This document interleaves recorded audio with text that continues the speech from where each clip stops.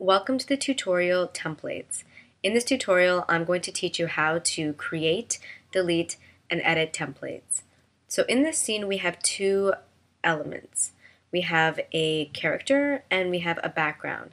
And each of these elements are further divided into smaller items. So for example, the rabbit is divided into its foot, its forearm, its you know pupil, things like that. Um, and it already has a keyed um, and timed animation that's set within it. And if you uncollapse any of the pegs to any of its body parts, you can see um, all the keying that exists for the different transformations.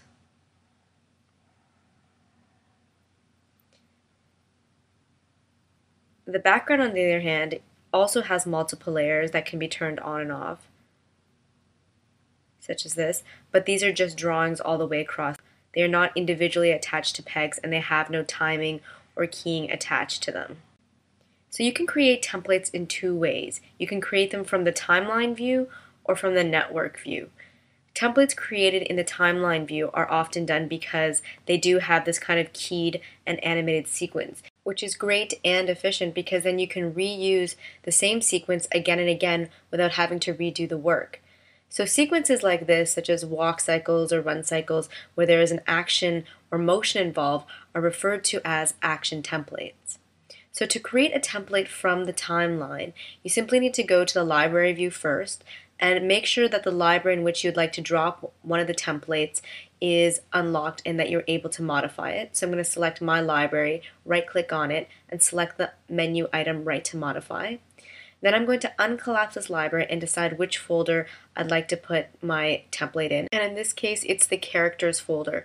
Then you simply need to select the layer of the template that you'd like to create on the left side of the timeline. Then click and drag it and drop it in the characters folder. Then you have an opportunity to rename your template. And I'm going to call it Karate Rabbit cartwheel and say OK. But that's not the only way that you can create a template from the timeline. You can also create a template of just um, a certain number of keyframes or cells, um, or just one keyframe or cell, which is known as a key pose. So say I only wanted an action template from, let's say, cell 20 to cell 42. So just this little jump here. Well, simply need to click on frame 20, hold down the shift key, and then select frame 42, then click and drag that entire sequence into the characters folder. Once again, I have the opportunity to rename my template. And I'm going to call it Karate Rabbit Jump this time and say OK. And let's try it one more time for just a key pose. So say I like just this pose here of the character uh, getting down and, you know, anticipating the jump. All I have to do is click on this single keyframe and then drag it once again to the characters folder. And this time I'm going to rename it Karate Rabbit Crouched Stance and then underscore KP for key pose and say OK. So now I have three new templates in my character folder of my library and that's the Karate Rabbit Cartwheel which is this entire full sequence um, from 1 to frame 60. I have the Karate Rabbit Jump which is just frames 20 to 42. And then I have just the crouch stance key pose, which is just frame 23.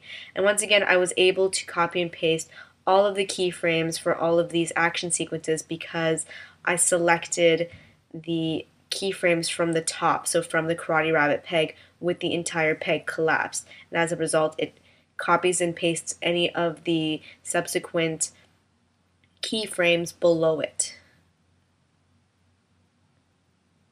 So now let's talk about creating templates in the network view.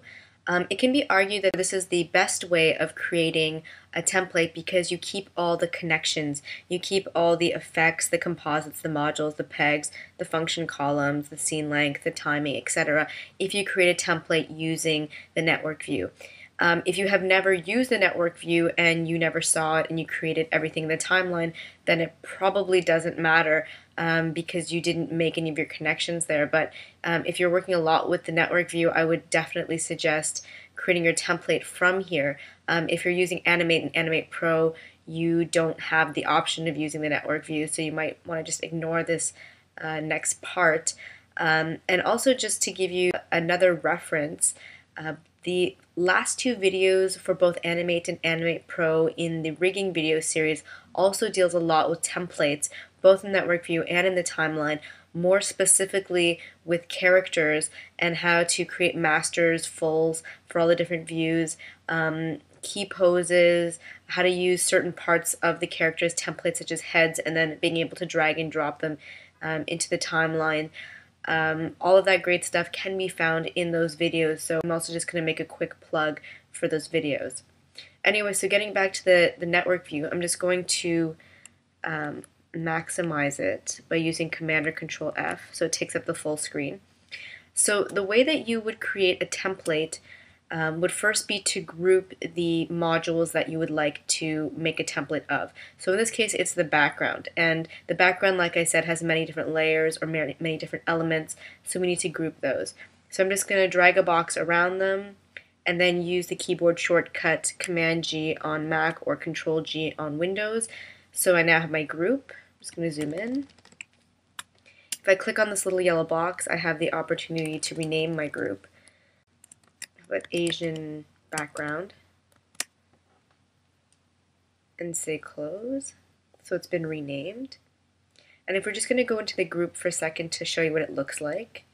So we have here a multi-port in, which if we go back to the top is this little green port out. So we can attach a peg or whatnot or connect it to the rest of the, uh, the scene with that. Um, we have a multi-port out, which leads to all of these portals being able to come out, all of these wires being able to come out and be attached to a composite. So it's important we have that as well. And then we have all of our drawing elements attached to a single peg. Um, and that's just because if we need to pan or whatever, we can key on that peg, but they don't necessarily need um, individual pegs unless you plan to make some type of motion with these objects. So I'm going to exit out again and then I'm going to go back to the full view. So this time, actually let me create a new folder in the library for backgrounds and rename it.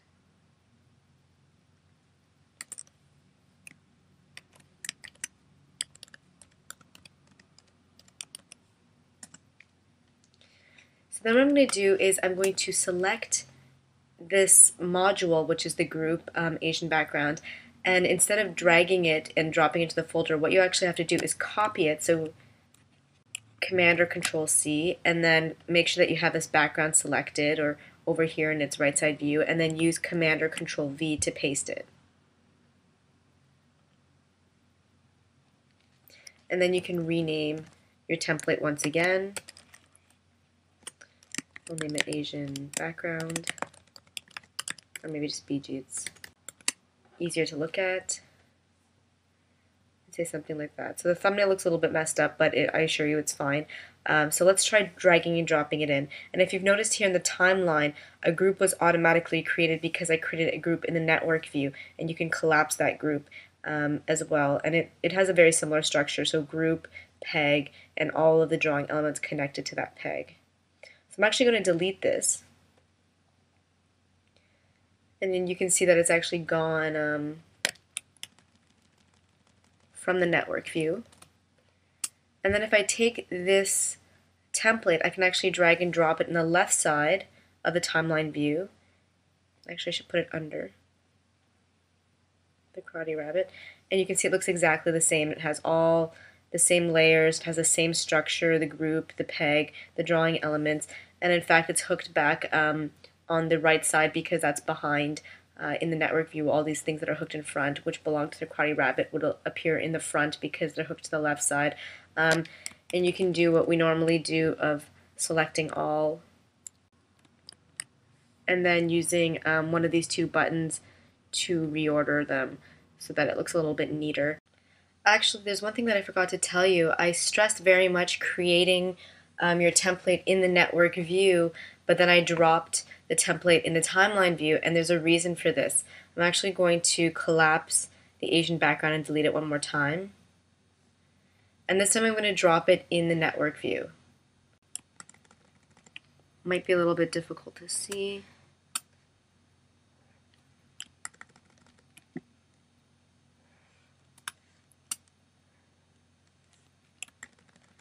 And maybe you can see here why. So when I dropped it into the left side of the timeline view, all of these ports were automatically hooked into the composite. Whereas if you drop the template directly into the network view, they expect you to hook them all up yourself. And each of these ports is one layer in the background. So the cherry blossoms, the pagodas, uh, the backgrounds, the mountain, etc. So that's one reason, um, and that's a very good reason, to drop the template in the left side of the timeline view.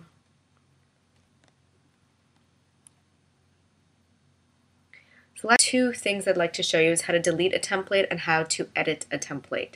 So to delete a template is quite easy. Um, you can actually just select it and hit the delete button.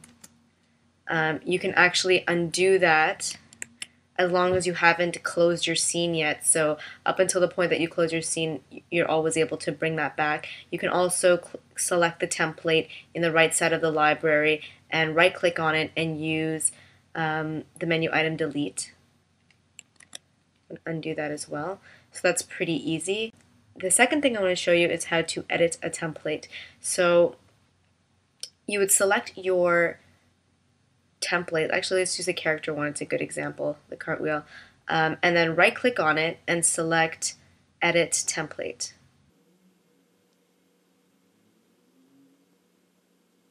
And then what essentially just happened is that your entire Karate Rabbit sequence was brought into um, a new scene, or is actually actually templates in themselves are little scenes. So this is the template, the Karate Rabbit cartwheel template scene.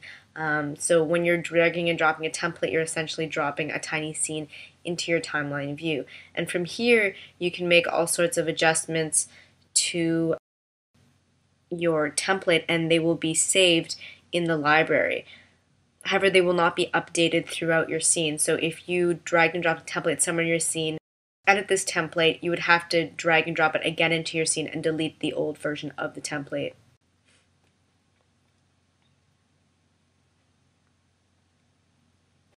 See what's going on here with the pupils. Hmm.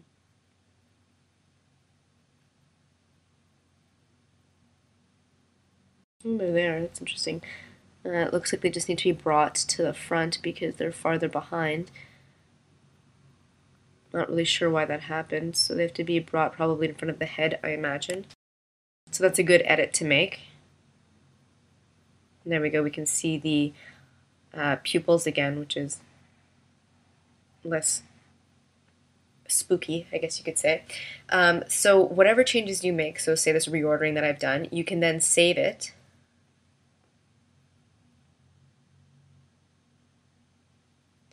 And then you can exit this template scene by closing it.